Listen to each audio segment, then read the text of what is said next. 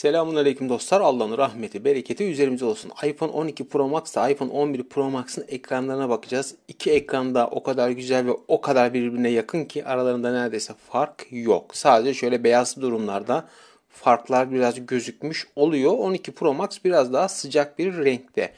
Güneş ne yazık ki böyle bir gündü. Hani böyle güneş cayır cayır yakmıyor ama gene de bir güneşli bir günde şöyle bir test yapalım dedik. Bakın sol taraftaki 12 Pro Max biraz daha sarımsı. Yani beyazlar 11 Pro Max'ta daha beyaz. Ama böyle renkli ekranlarda durum baya baya birbirine yakın. Ben çoğu zaman farkı anlamadım. Ya nerede fark var ki dedim burada. Çünkü birazdan teknik özelliklerden de bahsederiz. Ee, teknik özelliklerde de arada fark yok gözüküyor. İki ekranda neredeyse aynı gibi duruyor. İki ekranımızda da Dolby Vision var. Yani iPhone 12 Pro Max'ta çektiğimiz e, Dolby Vision bir videoyu 11 Pro Max'ta da sorunsuz bir şekilde izleyebiliriz diye düşünüyorum. Kameradan ekran görüntüsüne bakıyoruz. İki telefonunda ekran görüntüsü gayet iyi. Ha 11 Pro Max ha 12 Pro Max hiç fark yok. Gene gündüz bu sefer gölge hani güneşli bir gün değildi. Bulutlu bir gündü. Böyle bir ekran karşılaştırması yapalım dedik. Gördüğünüz gibi ekran ayarları aynı. Arada fark yok. Ve beyazı bir daha göstermek istiyorum. Evet sağ taraftaki Pro Max'ı görüyorsunuz. Biraz daha sarımsı tonlarda çekiyor. Hocam True Tone açıktır falan demeyin. Az önce zaten ayarları gördünüz. True Tone da açık değildi. Ee, yani ikisi de aynı ayarlarda. Bariz bir şekilde 12 Pro Max'ta böyle bir sarımsı bir şey var. Ama duvar kağıtlarına geldiğimiz zaman gerçekten aradaki farkı anlamak çok zor ya. Gerçekten çok zor. Bu arada teknik özellik demişken 12 Pro Max 6.7, 11 Pro Max 6.5 inç. İkisi de OLED ekran. 6.7 inç olduğu için biraz pikseller daha fazla 12 Pro Max'ta ve bundan dolayı piksel yoğunluğu iki telefonda da 458 ppi oluşmuş. İki telefonumuzda da 60 Hz var. Yani iPhone'larda şu an 90, 120, 144 Hz'ler yok. Halen 60 Hz'de devam ediyoruz. Ee, iki telefonumuzun da parlaklığı maksimum 1200 nits'e kadar çıkabiliyor. Gayet güzel. Normalde 800 nits fakat güneşi gördüğü zaman 1200 nits olabiliyor. Bakın burada da mesela beyaz biraz daha sarımsı tondaydı. Her iki telefonumuzda da HDR, HDR10 destekli. Bir de 12 e, Pro Max'ta HLG denen bir sistem var. Dolby Vision iki telefonumuzda da var. Bir de iki telefonumuzun ekran dayanıklılığına geldiğimiz zaman iPhone 12 Pro Max'ta e, şöyle bir durum denmiş.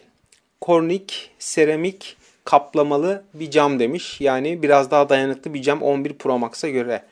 İşte bakın az önce videonun başında bahsettiğim e, Dolby Vision video kaydı. Sağ tarafta Dolby Vision video kaydı yapılmış bir görüntü. Sol tarafta 11 Pro Max'ın normal HDR bir görüntü kaydı. Arada böyle bir fark var ama iki telefonu da görüyorsunuz. Ekran canlılığı gayet iyi.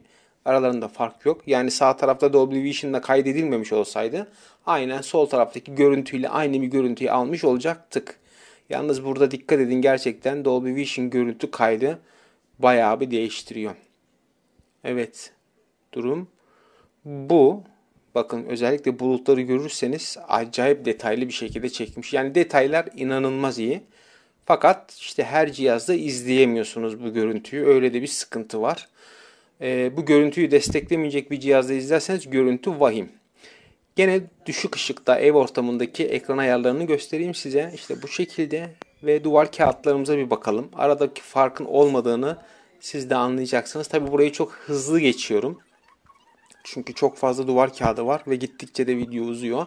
Sağdan soldan baktığımız zaman siyah tonlarında hiçbir değişiklik yok. IPS ekran olsaydı bu tip durumlarda o siyahlar gri olurdu. Ama iki telefonumuzda OLED ekran. Herhangi böyle bir sorun yaşamıyoruz. İşte bakın. Ya arada fark yok ya. 11 Pro Max ile 12 Pro Max'ın ekran kalitesi gerçekten birbirine yakın. Ama o beyazdaki olayı artık o kullanıcıya kalmış. Kimisi böyle daha yumuşak tonda sarı tonu da beğenebilir. Kimisi de yok hocam beyazsa bembeyaz olsun diyebilir. İşte bakın. Fakat beyazlarda da öyle sağdan soldan bakıldığı zaman absürt bir durum oluşmuyor. Zaten OLED ekran, AMOLED ekran bunlarda biliyorsunuz siyahlar tam siyah.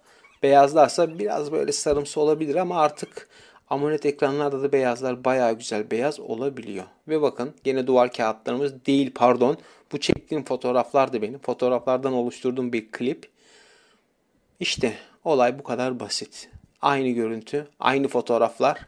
İki farklı telefonda izliyoruz ve görüntü kalitesi ikisinin de aynı denilebilecek kadar kaliteli. Gerçekten güzel. Durum bu. iPhone 11 Pro Max ve 12 Pro Max'ın ekranını biraz anlatmak istedik. Biraz hızlı bir video oldu. Ama ben arada çok büyük farklar göremedim. Sadece 12 Pro Max'ın Dolby Vision video kaydı hariç. O da zaten kamerasal bir özellikti. Umarım yardımcı bir içerik olmuştur. Ben size Allah'a emanet ediyorum. Hoşçakalın.